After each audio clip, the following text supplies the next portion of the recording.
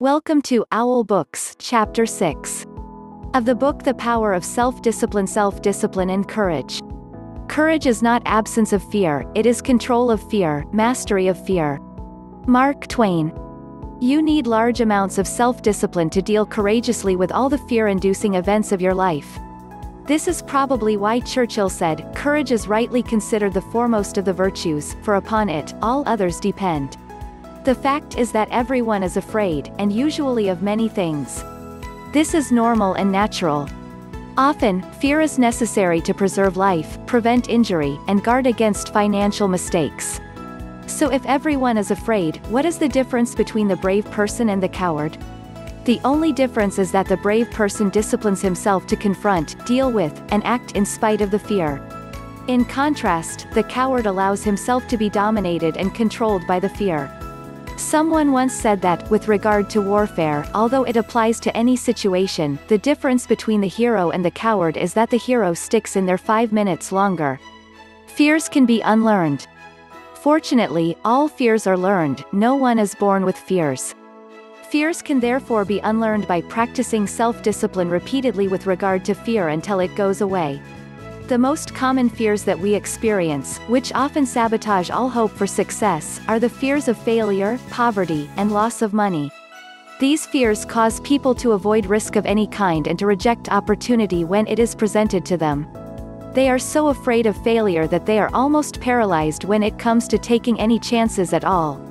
There are many other fears that interfere with our happiness. People fear the loss of love or the loss of their jobs and their financial security. People fear embarrassment or ridicule. People fear rejection and criticism of any kind. People fear the loss of respect or esteem of others. These and many other fears hold us back throughout life. Fear paralyzes action. The most common reaction in a fear situation is the attitude of, I can't. This is the fear of failure and loss that stops us from taking action. It is experienced physically, starting in the solar plexus. When people are really afraid, their mouth and throat go dry, their heart starts pounding. Sometimes they breathe shallowly and their stomach churns. Often they feel like getting up and running to the bathroom. These are all physical manifestations of the inhibitive negative habit pattern, which we all experience from time to time. Whenever a person is in the grip of fear, he feels like a deer caught in the headlights of a car. This fear paralyzes action, it often shuts down the brain and causes the individual to revert to the fight or flight reaction. Fear is a terrible emotion that undermines our happiness and can hold us back throughout our lives. Do the opposite. Aristotle described courage as the golden mean between the extremes of cowardice and impetuousness. He taught that to develop a quality that you lack, act as if you already had that quality in every situation where it is called for. In modern terms, however, we say, fake it until you make it. You can actually change your behavior by affirming, visualizing, and acting as if you already have the quality you desire. By affirming, by repeating the words, I can do it. Emphatically whenever you feel afraid for any reason, you can cancel the feeling of I can't. Every time you repeat the words, I can do it. With conviction, you override your fear and increase your confidence. By repeating this affirmation over and over again, you can eventually build your courage and confidence to the point where you are unafraid. Visualize yourself as unafraid. By visualizing yourself performing with confidence and competence in an area where you are fearful, your visual image will eventually be accepted by your subconscious mind as instructions for your performance. Your self-image, the way you see yourself and think about yourself, is eventually altered by feeding your mind these positive mental pictures of yourself performing at your best. By using the act as if method, you walk, talk, and carry yourself exactly as you would if you were completely unafraid in a particular situation. You stand up straight, smile, move quickly and confidently, and in every respect act as if you already had the courage that you desire. The law of reversibility says that, if you feel a certain way, you will act in a manner consistent with that feeling.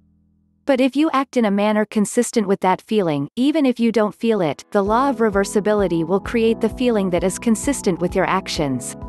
This is one of the greatest breakthroughs in success psychology.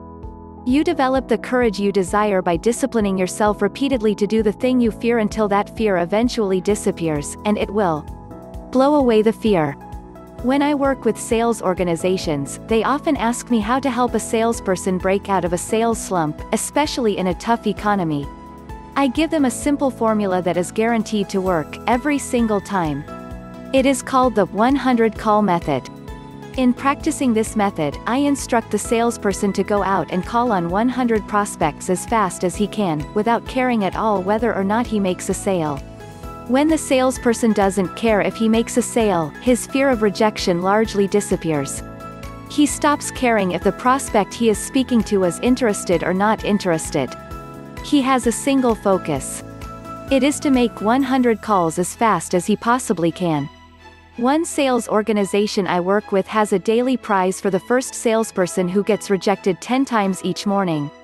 At 8.30 a.m., all the salespeople sit down at their desks and start making calls to try to win the prize. By the time the contest is over, usually by 10 a.m., everyone's fears of rejection have been blown out of their systems. They're ready to call on prospects all day long, not caring at all about the reactions they get. Learn to speak on your feet. In 1923, Toastmasters International was formed. Its express purpose was to take people who were terrified of public speaking and help them to become confident and competent when speaking on their feet in front of an audience. According to the Book of Lists, 54% of adults rate the fear of public speaking ahead of the fear of death. But Toastmasters International had a solution. They created a system based on what psychologists call systematic desensitization. Once a week, at a luncheon or dinner meeting, small groups of Toastmasters come together. Each person is required to stand up and give a short talk on a specified subject in front of a group of his peers. At the end of each talk, the speaker receives applause, positive input, and comments from the other members. At the end of the evening, each person is given a grade on his talk, even if it was only for 30 or 60 seconds. After six months of attending Toastmasters meetings, the individual will have stood on his feet and spoken 26 times, receiving positive applause and feedback each time. Because of this continuous positive reinforcement, his confidence increases dramatically. As a result of this process, countless Toastmasters have gone on to become excellent public speakers and prominent people in their businesses, organizations, and communities. Their fears of public speaking are gone forever, Eliminate two fears at once. Psychologists have found that certain fears are bundled together in the subconscious mind, like wires on the same circuit. If you can overcome your fears in one of these areas, you will also eliminate other fears on the same circuit. The fear of rejection, or call reluctance, seems to be bundled together with the fear of public speaking. When you discipline yourself to join Toastmasters or take a Dale Carnegie course to learn to speak confidently on your feet, your fears of rejection disappear as well. Your level of self-confidence in all your interactions with others increases dramatically. Your whole life changes in a positive way. Confront your fears. Your ability to confront, deal with, and act in spite of your fears is the key to happiness and success.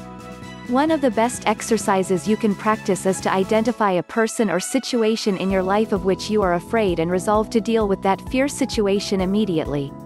Do not allow it to make you unhappy for another minute. Resolve to confront the situation or person and put the fear behind you. A woman in one of my seminars told me that her boss was a very negative person. He was constantly criticizing and berating her about her work, even though she was one of the highest rated employees in the organization. He was making her life miserable. She didn't want to give up her job but she was afraid of confronting him. She asked me what she should do. I gave her this advice, which I have subsequently given to many other people, the only reason that one person bullies another is he feels he can get away with it. The only way to deal with a bully is to confront him. Bullies are actually cowards at heart, and they will flee from a confrontation. I told her to do this, the next time your boss criticizes you for any reason, turn to him and say, quite firmly, I would appreciate if you not talk to me like that ever again. It hurts my feelings and stops me from doing my job the way you want. I told her to look him straight in the eye after she had finished making this statement. She had tremendous courage. Rather than putting up with this situation any longer, the next time her boss began to berate her, she squared off with him and said those words. She wrote to me and told me what had happened. Just as I had predicted, he stopped dead in his tracks. He immediately apologized and mumbled and then quickly went back to his office. He never criticized her again. She told me that she could have ended his bad treatment of her many months before if she had only had the courage to confront him directly the first time it happened. As Eleanor Roosevelt said, no one can make you feel inferior without your consent. Move toward the fear. When you identify a fear and discipline yourself to move toward it, it grows smaller and more manageable. What's more, as your fears grow smaller, your confidence grows. Soon, your fears lose their control over you. In contrast, when you back away from a fear-inducing situation or person, your fear grows larger and larger.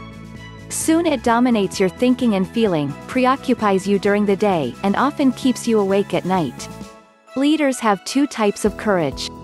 In leadership, the most common quality is that of vision. Leaders have a clear vision of where they want to take their organizations.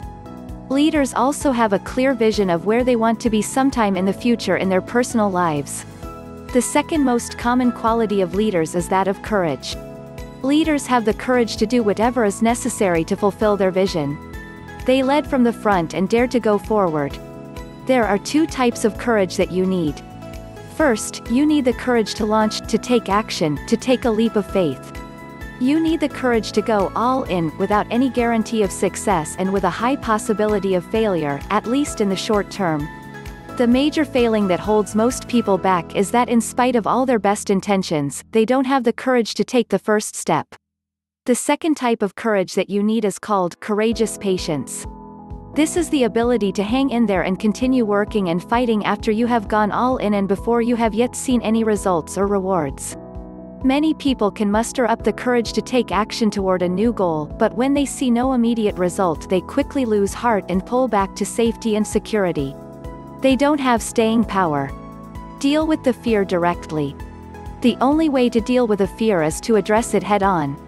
Remind yourself that denial is not a river in Egypt. The natural tendency of many people is to deny that they have a problem caused by fear of some kind. They're afraid of confronting it. In turn, it becomes a major source of stress, unhappiness, and psychosomatic illness.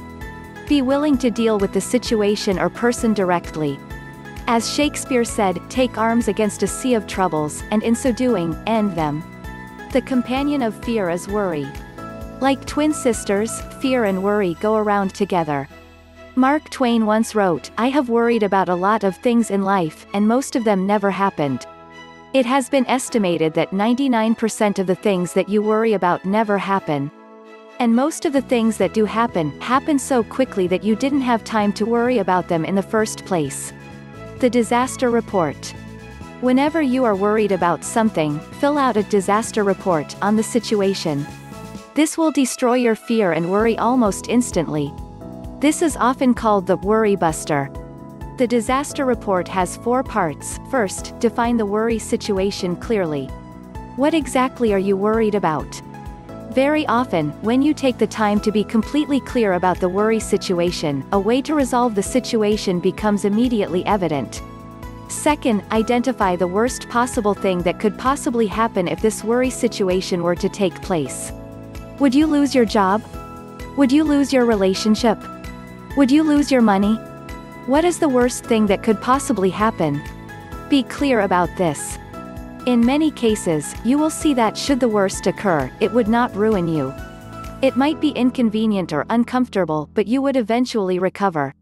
You will find that it's probably not worth all the worry that you are devoting to it. Third, resolve to accept the worst possible outcome, should it occur. Say to yourself, well, if that happens, it won't kill me. I will find a way to get along. Most of the stress of worry comes from denial, from not being willing to face the worst possible thing that could happen. But once you have resolved to accept the worst, should it occur, all the worry and stress seem to disappear. Fourth, begin immediately to improve on the worst. Take every step that you possibly can to make sure that the worst possible outcome does not occur. Take action immediately. Do something. Get on with it. Act quickly. Get so busy making sure that the worst thing does not happen that you have no time to worry. The real antidote. In the final analysis, the only real cure for fear or worry is disciplined, purposeful action in the direction of your goals. Get so busy working on your goals or the solutions to your problems that you have no time to be afraid or to worry about anything. When you practice the self-discipline of courage and force yourself to face any fear-inducing situation in your life, your self-esteem goes up, your self-respect increases, and your sense of personal pride grows. You eventually reach the point in life where you are not afraid of anything. Once you have developed the courage to step out in faith, you must then develop the self-discipline of persistence, which we will talk about in the next chapter. Action Exercises 1. Identify your three biggest fears in life, right now. What are they? 2. Determine what you would do in each of these situations if you were guaranteed of complete success. What actions would you take? 3. What have you always wanted to do but been afraid to attempt? What would you do differently if you were guaranteed success? 4. In what three areas of life and work do you most experience the fears of failure and loss? What steps could you take immediately to confront and eliminate those fears? 5. In what three areas of life do you most experience the fears of criticism, rejection, or embarrassment? How could you confront these fears and overcome them? 6. What one great goal would you set for yourself if you knew you could not fail? 7. What would you do differently in life if you had $20 million in the bank but only 10 years left to live? Thank you for watching if you like audiobooks then don't forget to subscribe to my channel and hit the bell icon for more videos.